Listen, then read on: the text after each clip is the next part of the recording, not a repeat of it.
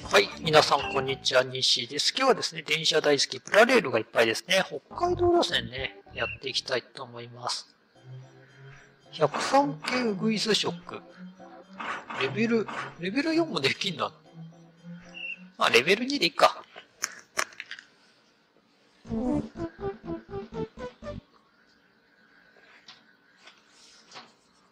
山手線がありますよね。まあ、13分でいい。山手山手線の103系はね、プレステ2のね、山、ザ山手線っていうゲームで、電気会社に牽引されてね、なんか103系、牽引されてるシーンがありました。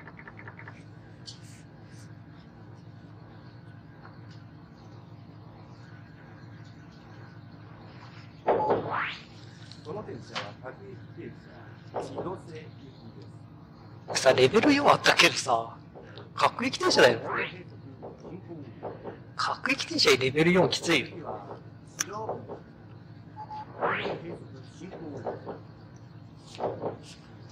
でもレベル4、レベル2で遊ぶのとレベル4で遊ぶのって、あの、エンディング映像違うのかな？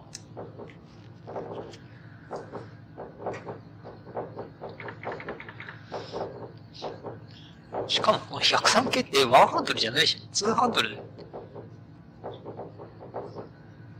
まあ、この分ねツーハンドルで遊んで、セーブして閉じると、またワンハンドル設定に戻るから。そこが謎なんだよ。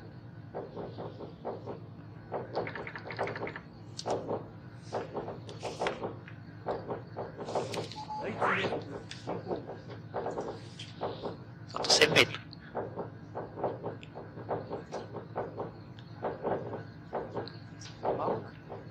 で、ここで丸ボタンで警笛が押せるっていう。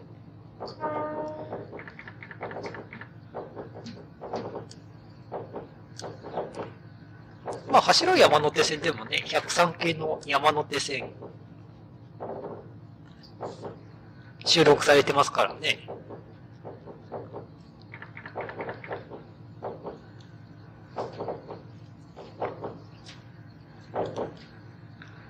でさ、N ゲージでさ、加藤だかなあの、低運転台のね、103機のウグイス色の山手線置いてんだよね。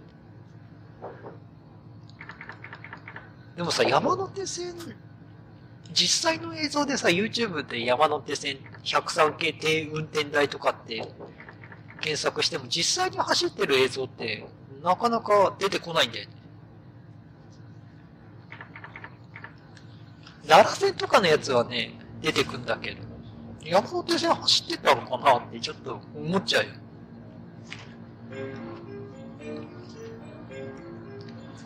ATC だっけあれが導入される前になんか低運転台の103系山手線が走ってたみたいな音も聞くんですけどね。山手線103系低運転台って検索すると N ゲージばっかり出てくるから N ゲージもあんま持ってる人いなさそうだね、あれね。たまにホビーランドポチで売ってんだけどね、ジャンクセットで1万2、3000円で売ってんだけど。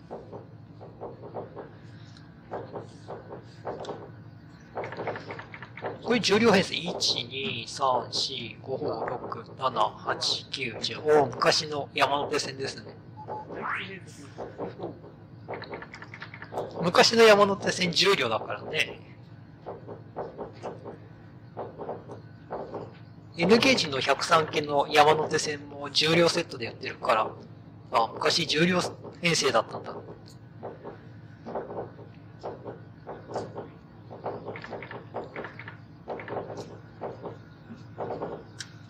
でももう物心ついた時は山手線も11両編成だったね。僕が物心ついた時はもうとっくに11両編成だった。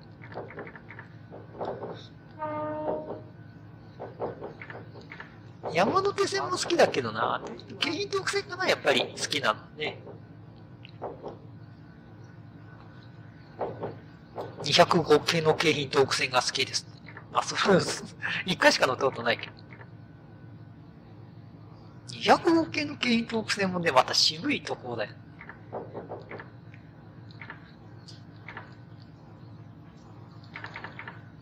2022年の12月にトミックスがね、NK 値で205系の景品トーク船売ったんだよね。発売したの。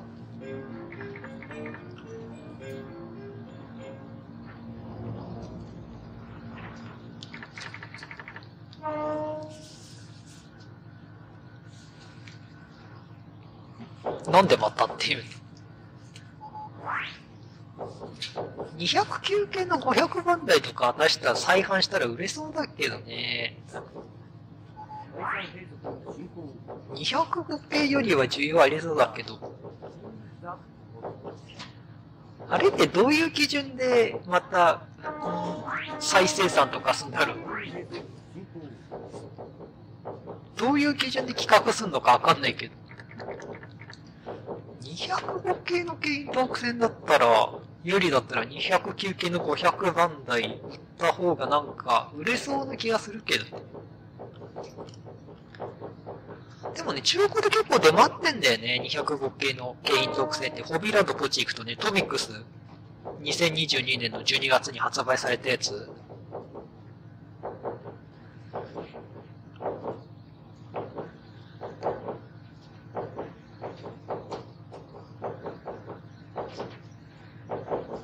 だから、うん、まあ案外需要あったの、売れたんだなっていう。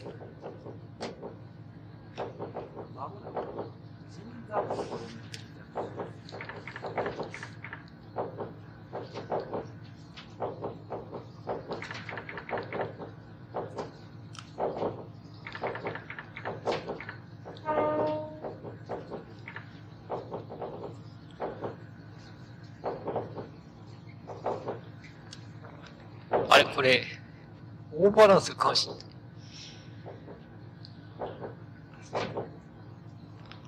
ああ、大丈夫。案外、案外止まれた。あ、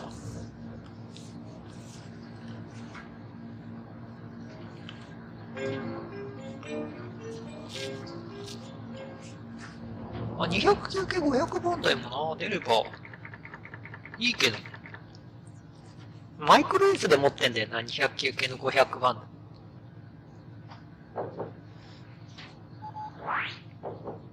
205系の金属線で加藤で持ってる。中古品だけ？あ、ホビーランドポチでジャンクセットで買ったのかな ?1 万6000ぐらいしとけよ。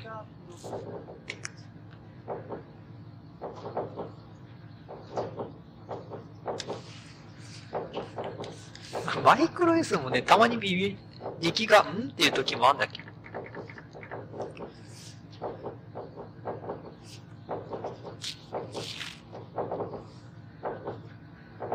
でも懐かしい車両とかでね、なかなか出回ってない車両？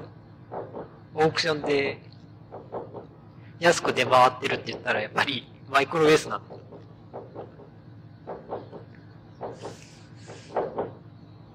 255系のね、やっぱりマイクロ S だと、ヤフオクで1万5千円とかで転がってんだっけど、やっぱ加藤とかさ、トミックスになると3万とかするもん。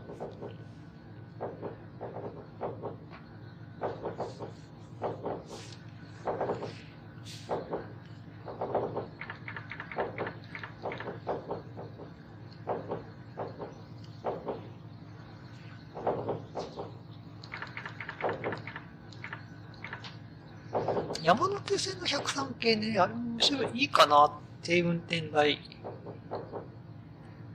いいなって思うんだ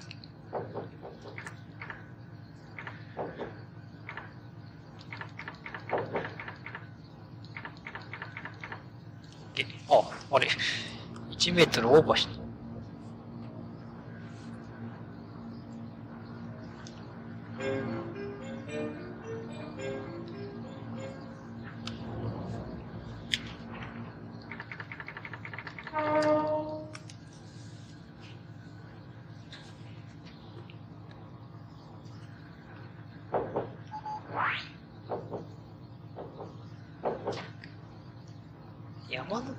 103系か。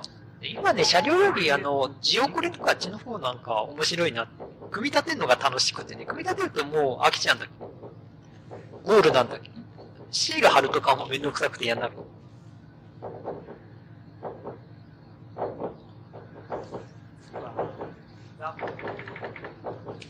885系もね、ちょっとあれだよね。高いよね。2万とかするもん。加藤では出てんだけど、トミックス、マイクロ S では出てこないもんね。ソニックか、じゃない、あの、885系か。カモメ。白いカモメなんて言われてたやつね。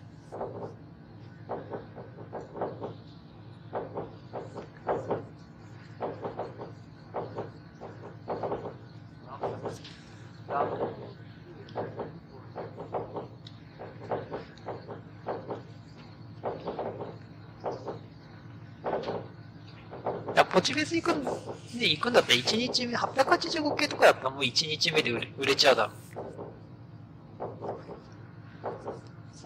新宿でね、ポチフェスなんで行こうかなって思ってんだけど。3月の9日？だっけ ?10 日だっけ？あ、今日3月の6日です。2024年の3月6日です。3月9日10日だったかな？山手線の低運転台のやつ買おうかな。欲しいなと思うけど。なければ別に、ジオこれだけ買って帰ろうかな。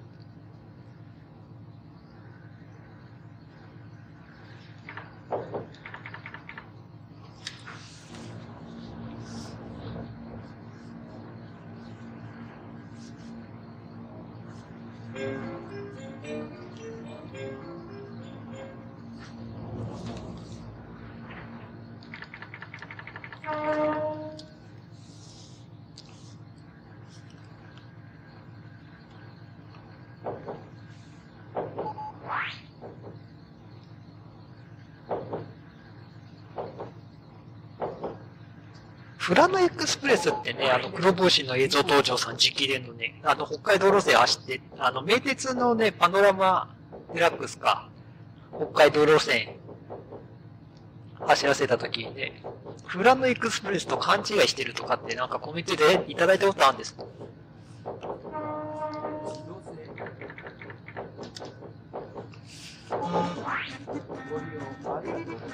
ちょっとね、フラノエクスプレスも気になるよ。確かに、本当にパノラマデラックスと変わんないね。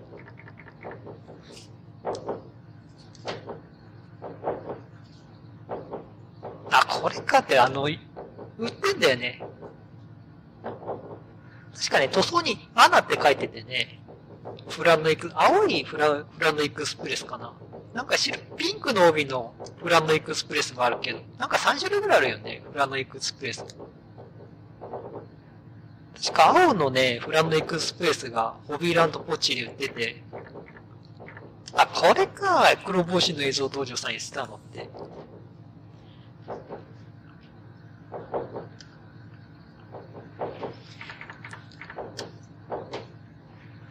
ある時はあるけど、探すとないよね、あの、あのいう車両ってね。大体そうなんだよね。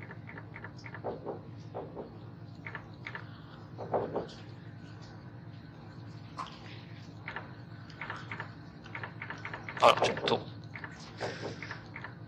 ちょっと遅くなる。まあ、これでも合格できるかな。あ、でも100点で合格できた。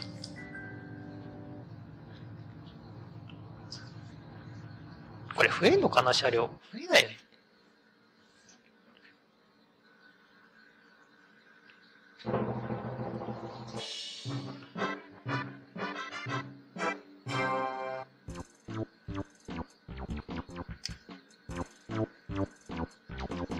多分車両増えないと思う。あ、やっぱそうだ。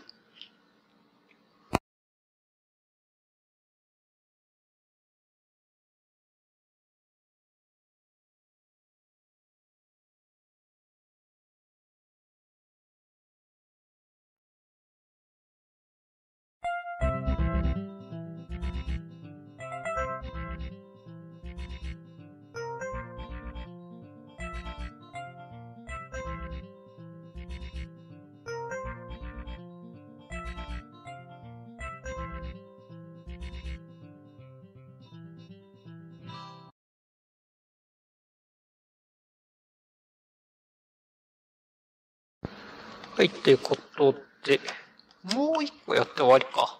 15分だもんね。まだ15分しかやってない。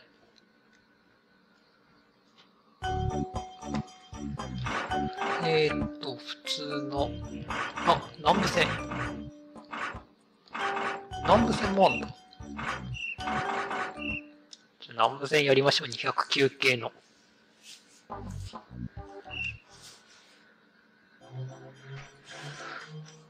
レベル3でやってみるか。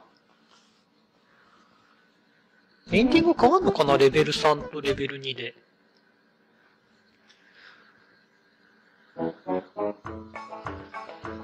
何分やるの？うわ、長いな。23分もやる。レベル2でもよかったよ。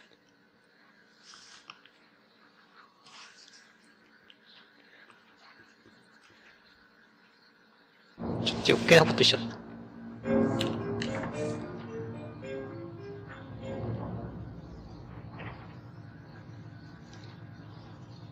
はい。あ、ちょっと、お、リアルプロの小田急ロマンスカダウンロードあった。じゃあ YouTube に YouTube にアップロードして。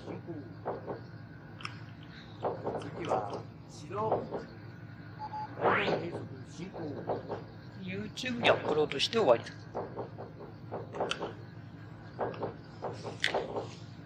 なんか編集ソフトでフィフィモーラっていう編集ソフト使ってんだけどね。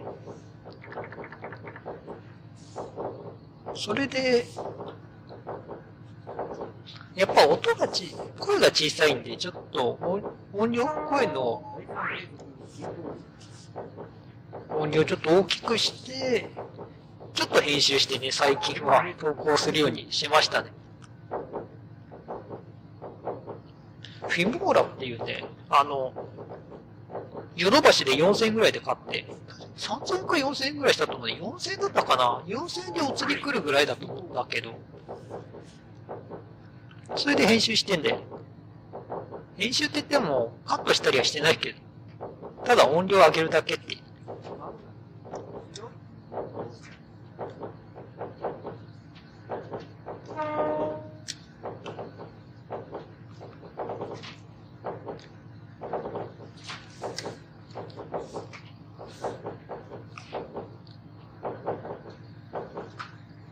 11駅もあんのか。結構めんどくさいことやっちゃったね。レベル3で遊んだらあれかなエンディング変わんのかなっていう。そういう疑いがある。変わんないのかなでもそこまでエンディング作り込むかなって思うんだよな、このゲームが。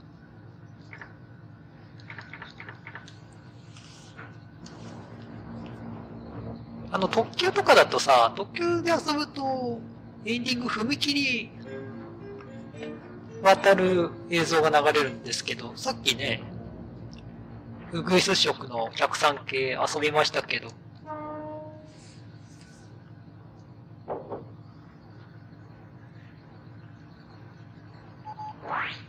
その踏切を走る映像がなかったからさ、エンディングムービーにね。あ、レベル3で遊べば、ちょっとエンディングが変化するのかなって、ロングバージョンとショートバージョンがあんのかなっていう。南部線の209かな。これ重量編成。あの、初代電車で GO と一緒だね。南部線が重量編成になってる。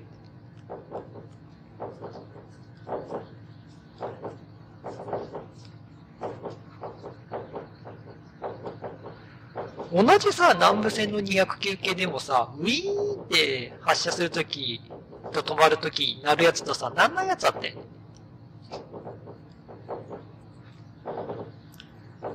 ウィーンってなるやつがね、結構貴重だったりすんで、原動戦の200とかね、そんな感じだったけど。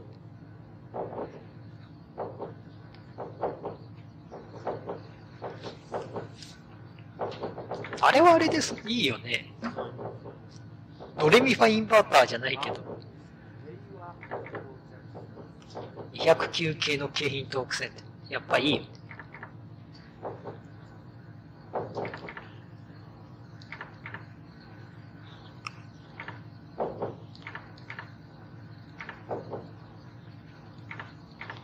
局ね、自分が好きな車両っていうのは、ないんだけど、選べって言われたら、景品特性になっちゃうのかな。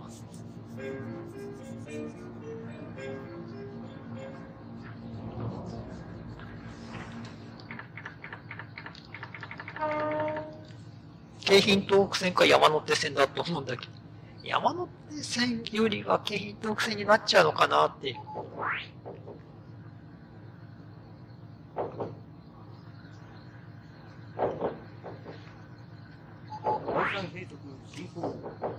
横浜線もいいけどね。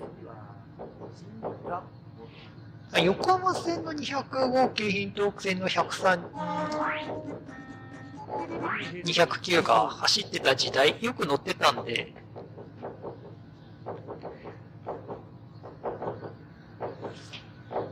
あの頃が楽しかった。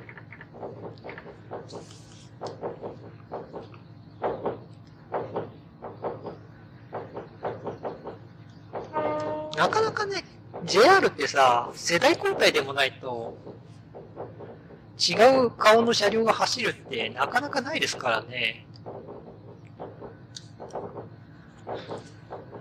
そういう意味ではいろんなね、京浜東北線、神がかってて、209系も走ってた、103系も走ってたね。205系も走ってたからね。で、横浜線の205でしょ？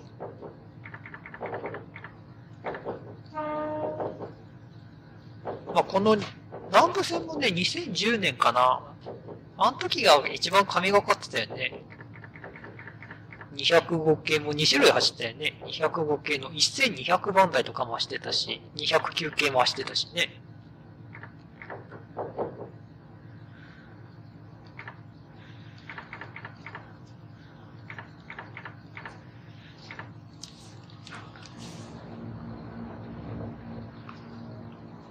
南部線だけでも3種類か。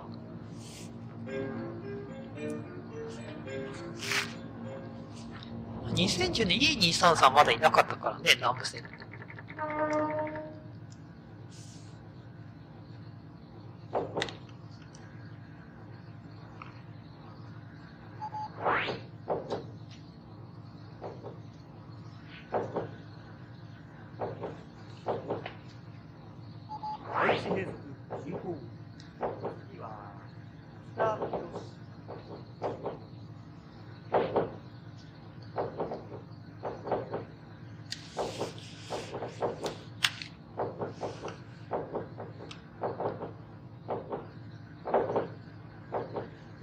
2010年の南部線って結構神がかってたかなっていう。南部線も大体乗ってんだよな。まあ、あの、国鉄なんだっけ、72型とか73型とかさすがにあれは乗ったことないけど。あれ2年前かななんか N ゲージで出たよね。国鉄72、73の鶴見線と南部線がね。4両セットで出てましたけど。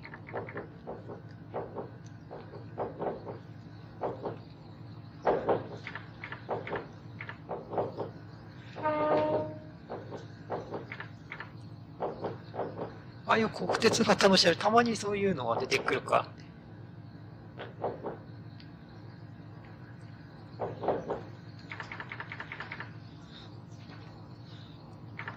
ヨドバシでどうしようかな、買おうかな、どうかなってちょっと3ヶ月、4ヶ月悩んでたら、もう取り扱い終了になってたね。ヨドバシのネット。ヨドバシはね、最新商品ある程度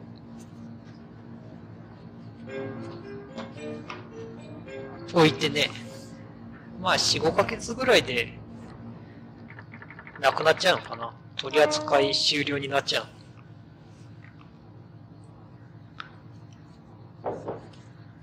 まあ、ものによってはなんかね、1年も2年もっていうのもあるんだけど。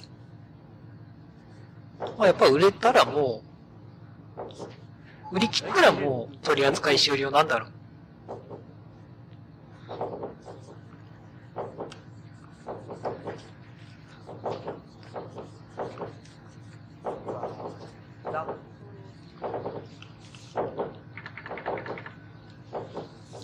まあ、ヨドバシも新品しか置いてないからね。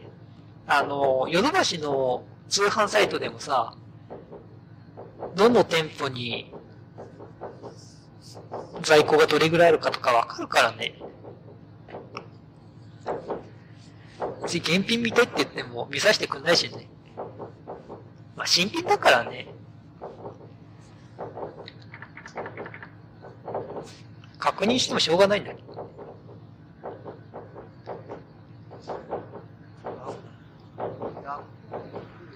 ヨドバシでほら、例えば、買って、まあ、例えば模型に傷がついてたそ。したらレシート持ってヨドバシに行けばいい。ってなるよね。で、交換してくれって言ったら交換してくれんだよね。レシートに書いてるもんね。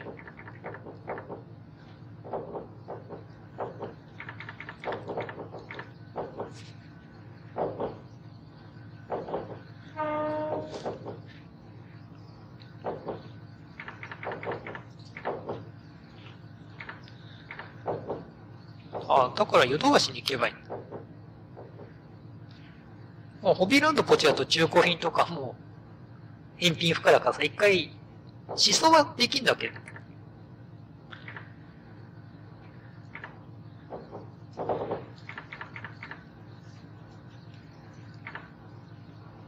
中身とか見れる、自分で確認できんだけど、もう会計しちゃったらもう返品不可に。ジャンクセットも思想できない。ジャンクセットとか、あの、スティックジャンプとか。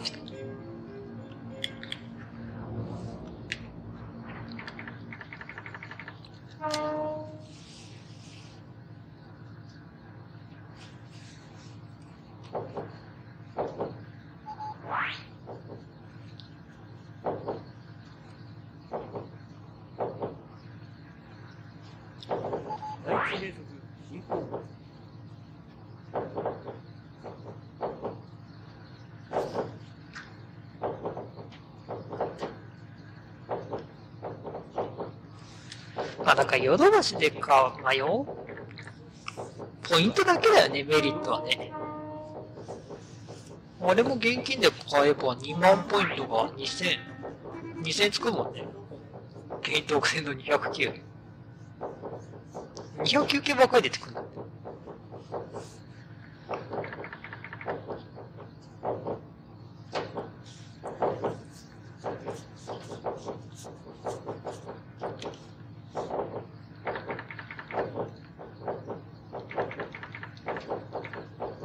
で、ほら、例えば、神奈川の店舗、神奈川のヨドバシ全店に、まあ、例えば651系のスーパー日立が欲しいとして、神奈川になかった場合ね、なんか店舗受け取りだと、取り寄せるよね。他のヨドバシの店舗で在庫が残ってれば。だから、例えば札幌のヨドバシカメラ札幌店に651系があれば、店舗受け取りで取り寄せてくれんだろうね。横流しじゃないけど、なんか、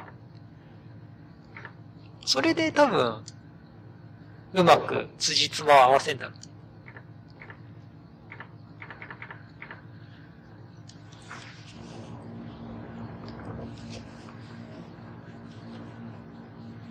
まあ、全国のヨドバシで在庫 ?651 系の在庫に来たらもう取り扱い終了になっちゃう。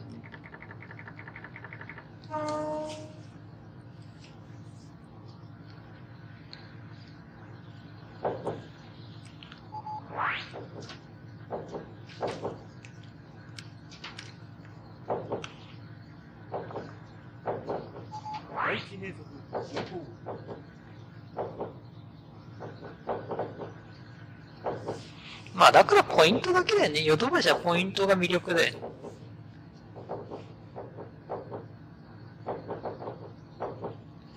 まあヨドバシ使う人もいるよね。あの、ヨドバシの、ヨドバシって N ゲージ買って買い物してね、そのポイントでまた、溜まったポイントで N ゲージを1円も、現金1円も使わずにポイントだけで買うとかね。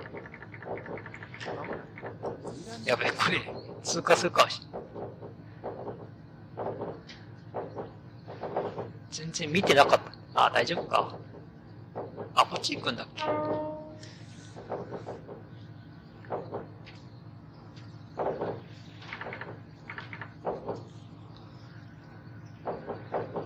クレジットで買うと、あれに、2万円の鉄道模型買った時に2万ポイントつくのかなあれ。なんか現金だとポイント半減するとかって、まあその代わりクレジットカードのポイントがつくんだよね、確か。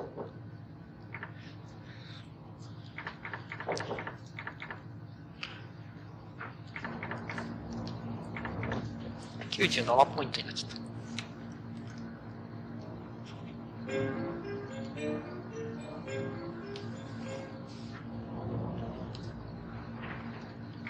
はい、出発進行。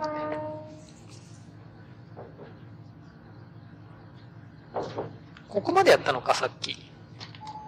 もう32分。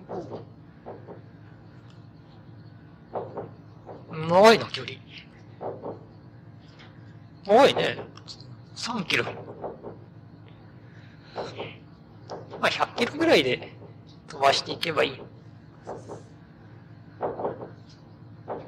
どうせ100ポイントになるでしょ。次は何の車両が出てくるんだろうね。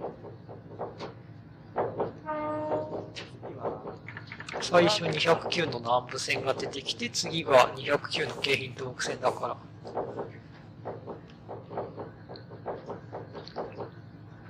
ウグイス色出てくるかもね。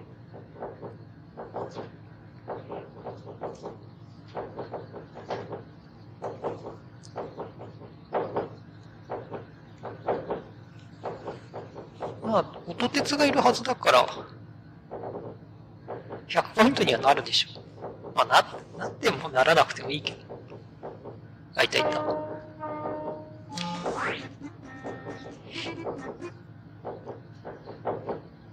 ちょっと早いかな？80、まあ、いくわ。80キロぐらいで。ちょっと時間で。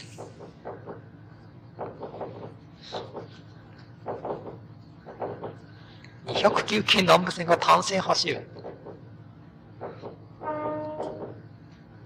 なかなかないよね、単線走る。単線区間ないよね、南武線は。あれ、京急はね、三浦海岸から三崎口って単線だよね。で、三崎口の駅に入ると、また、伏線になんじゃなかった。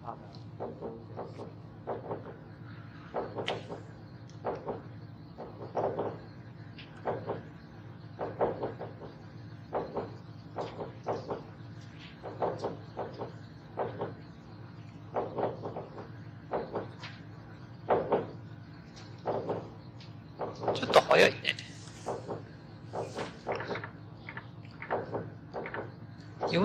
40キロで侵入していってもいいよ。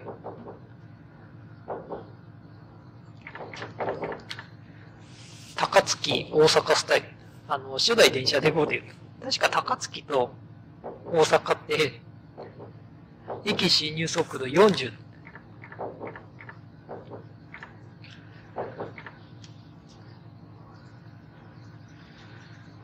だいぶ早く着くな。このまんま行っても、だいぶ。途中で止まっちゃうか、これ。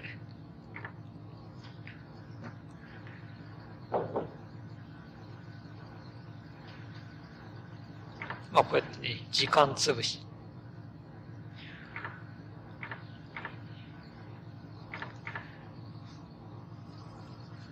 OK。15秒までの装着、粘着だと、ラマイゼロなんじゃないかな。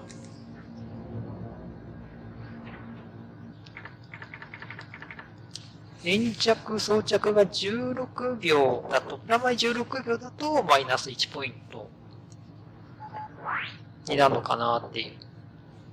今更だけど。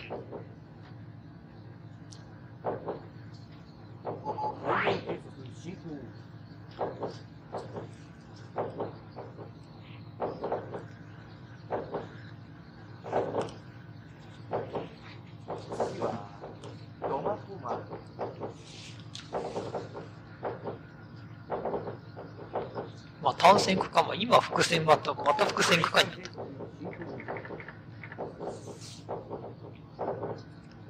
関東路線はあれだよね、単線区間がないからね。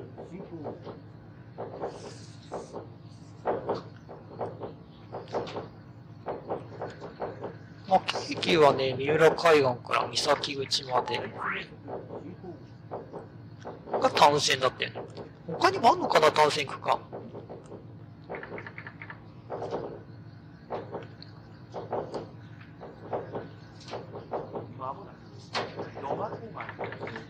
三浦海岸からね、京急乗ったら結構なかなか電車来ないね。ね。栗浜線。15分間隔、まあ休みの日だったから遅いのか。でも電車の間隔減らしたって、なんかコロナの影響でね、なんか減らしたとか、なんとかって聞きましたけど。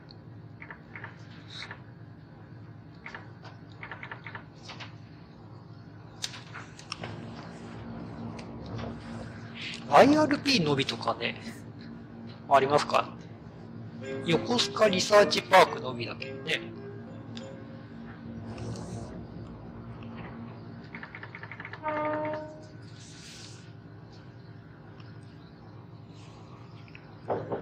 あの辺に住んでみてもいいなって思うんで。津久井浜とかね。いいなっても思うんだけど。でもなかなか電車来ない。意外と来ないんだよね。でも快速に乗れるからね。快速快特。まあ確か、三崎口から堀之内って各駅だもんね。快速でも一駅ずつ止まるから。113系です。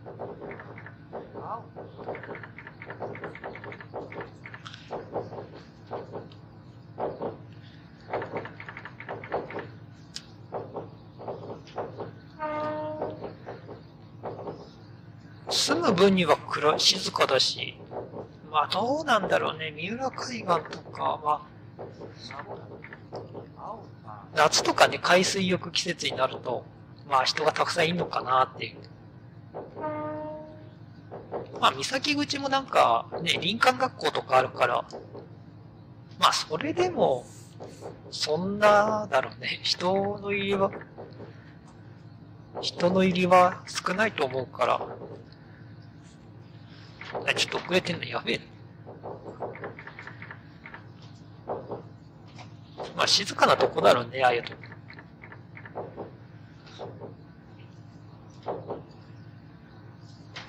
まあでも、車持ってないと不便かもね。三崎口とか、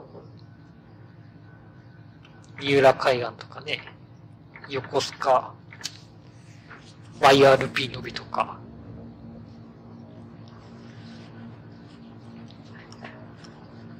仕事で東京まで行くったら、三浦海岸とかだともう、きついもんね。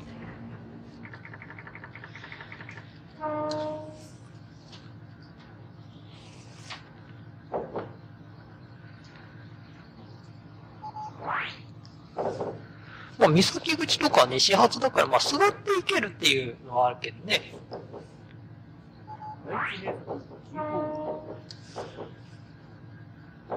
まあ、若い人はちょっとね、仕事がね、なかなかないからね。まあ、あるっちゃあるんだろうけど、なかなかね、仕事がもう東京のように溢れてるわけじゃないからね。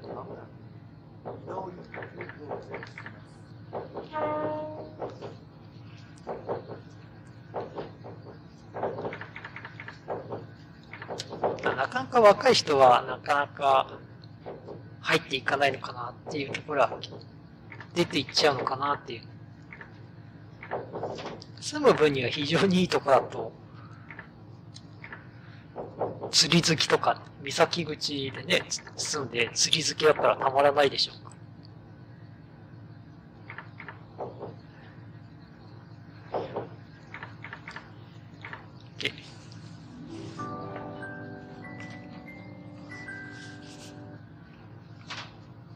レベル3で遊んだところで、クリアなんない。あ、車両増えない。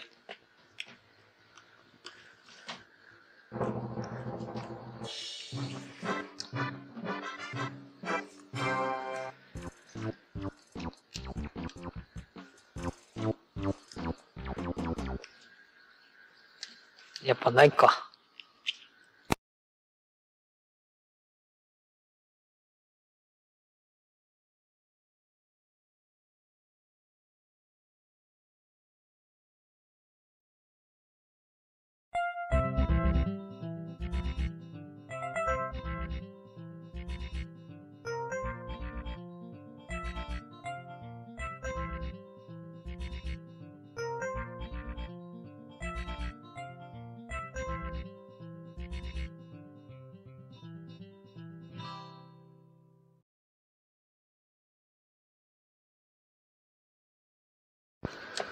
あ、やっぱレベル3で遊ぶとあの踏切通過しましたね、今ね。やっぱエンディングで変わるんだね。